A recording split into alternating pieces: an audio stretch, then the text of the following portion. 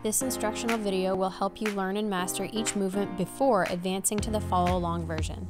Pause and rewind often, and move on only when you feel confident. Hello, welcome to Primal 7's final video of the shoulder series. I'm Jenna Ellis, physical therapist for Primal 7.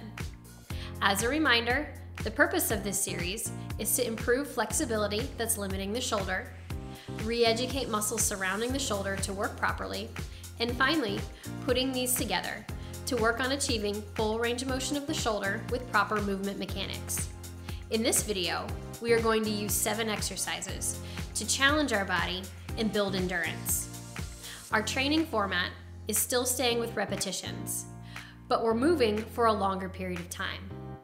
Our focus is on challenging our body to move with confidence and purpose during this set time. Our band will be set at mid shin, the rings will be locked, and the safety covers for the band release levers will be pulled all the way up.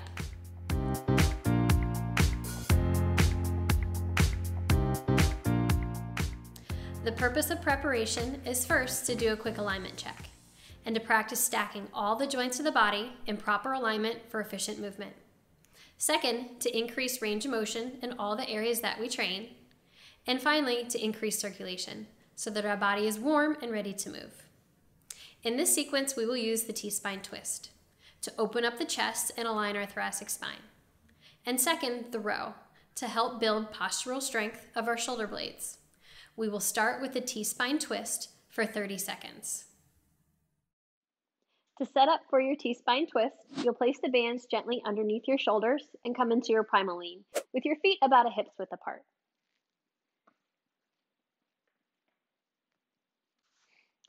From here, gently rest your hands on green. Make sure your butt squeeze nice and tight.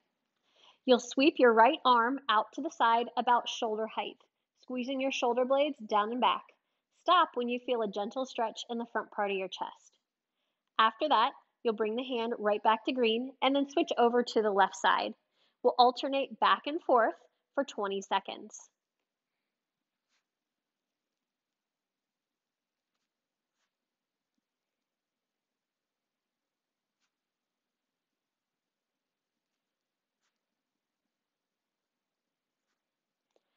A few things to look out for while you're doing this. Make sure you keep your butt squeezed tight. If not, you'll start to sag down and back into a squat. We want you to stay in good alignment.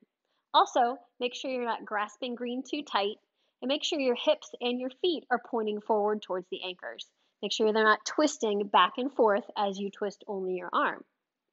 After you're done with your 20 seconds of twist, you'll stand back up, come out from underneath your band, and you'll grab the rings.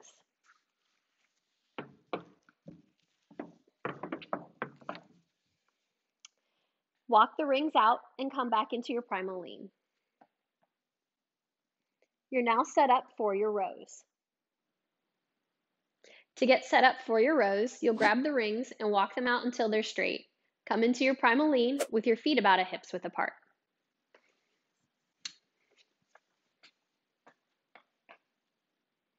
From here, pull your hands to your chest. Breathe out as you pull Breathe in as you lower back down to your starting position.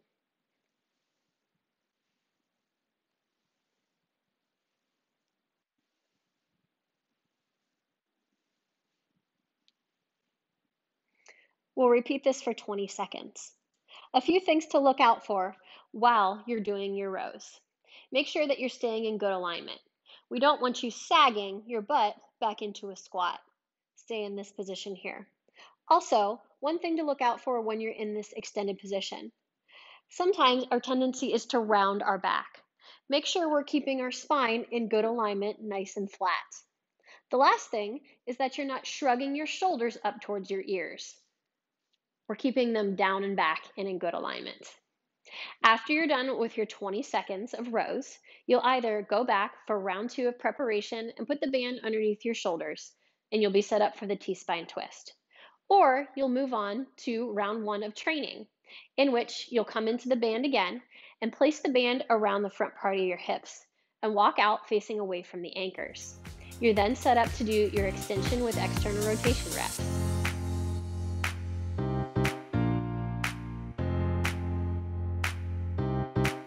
The second training video, we focused on maintaining perfect alignment as we went from start to end positions of our exercise.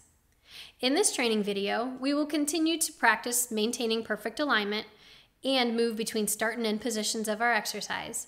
But our goal this time is to work for longer periods of time, challenging our muscles endurance. In this, you may use one to two pound weights or a soup can from your kitchen for our first two exercises. If you find yourself straining too much or coming out of alignment, make sure you put those weights down to the side and continue on with just your arm weight. In this sequence, we will use external rotation with extension in order to continue strengthening our shoulder blade muscles and our shoulder rotator muscles. Second, we will use T's to further work on strengthening our shoulder muscles for good posture. And finally, we will use a half bird dog to continue strengthening our shoulders in a weight bearing position and also challenging our spine to maintain its alignment. Remember to always tuck your chin before beginning each exercise. We will begin with extension with external rotation for 20 seconds. To get set up for extension with external rotation, come into the band and place it directly underneath your chest and come into your primal lean.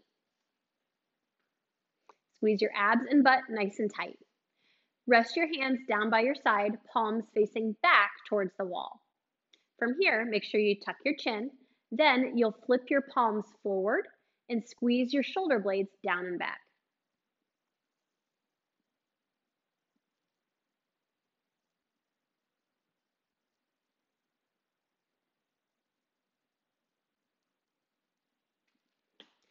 This exercise will sort of feel like you're standing on the bow of a ship, kind of like Jack and Rose in Titanic, and bringing your arms out to the side.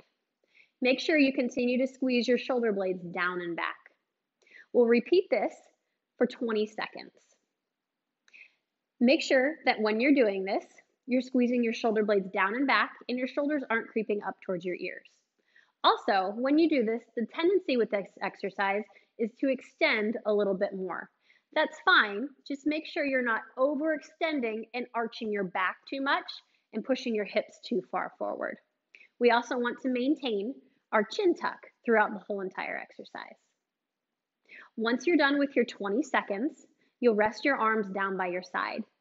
Keep in your primal lean with the band directly underneath your chest. You'll then be set up for your next exercise, T's for 20 seconds. Again this week, same as last, if you would like to add a very light hand weight to this exercise, you may, or some soup cans that are 8 to 16 ounces, or one pound. To get set up for your T's, Place the band directly underneath the base of your chest and come into your primal lean. Squeeze your abs and your butt nice and tight. Tuck your chin and bring your hands straight out in front of you. From here, float your arms out to the side, no higher than shoulder height.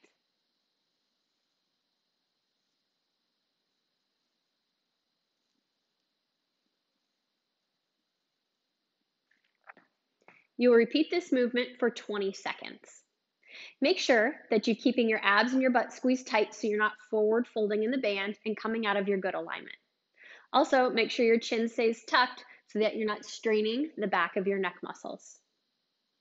Also, this week, if you would like a little bit more of a challenge, you can grab a very light one to two pound weight or a light soup can, 8 to 16 ounces, to challenge your shoulder muscles a little bit more.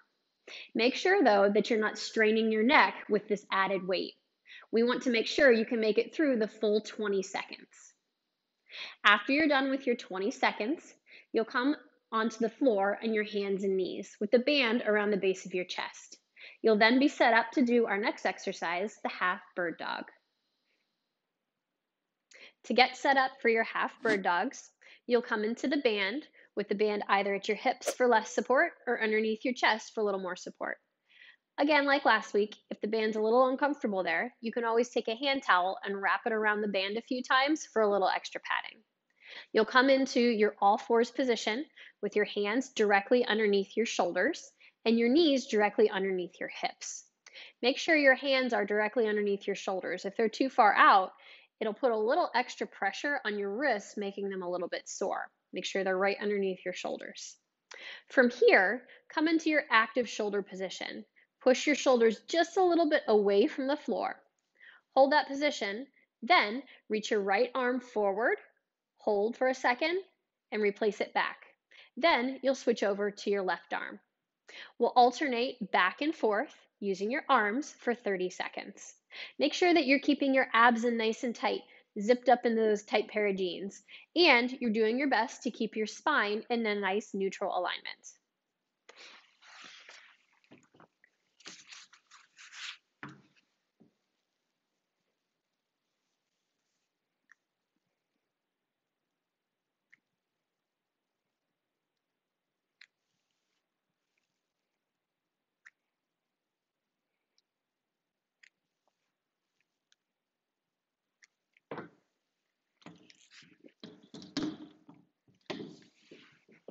It's helpful during these 30 seconds to think about keeping your chin tucked. We don't want you looking forward and arcing your neck, putting a lot of excess strain on your neck.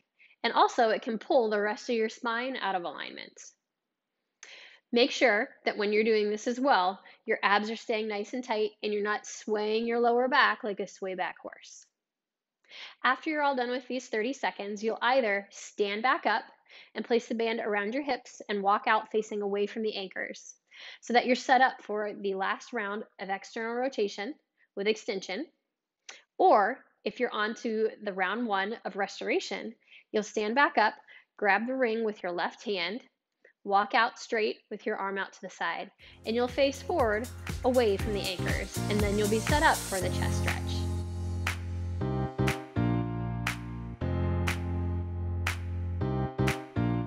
The purpose of restoration is first to cool down and to give the muscles that we worked a chance to relax.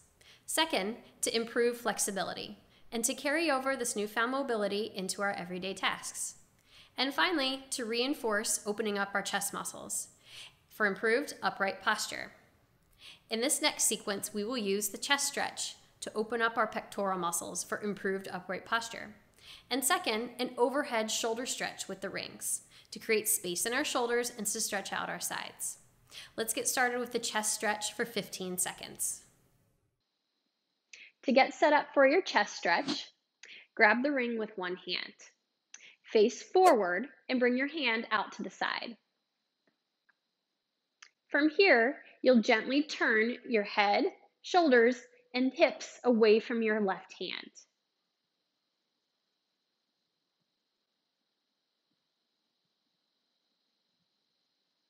We'll hold this for 15 seconds. When you're doing this stretch, it should feel like a gentle pull across the front part of your chest.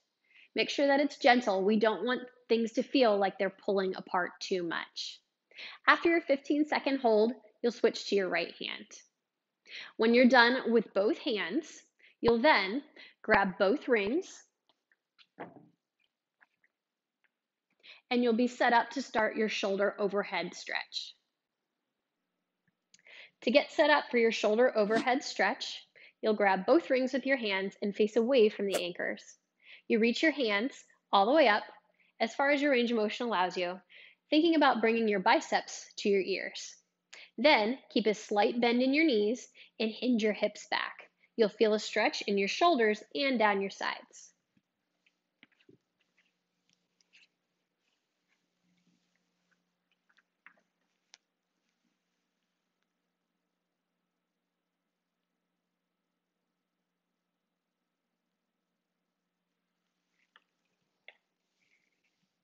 To come out of the stretch, walk your feet a few steps forward, then bring your hands down.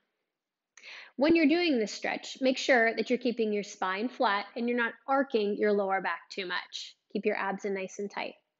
Also, it's important to keep your chin tucked so that you're not overextending your cervical spine.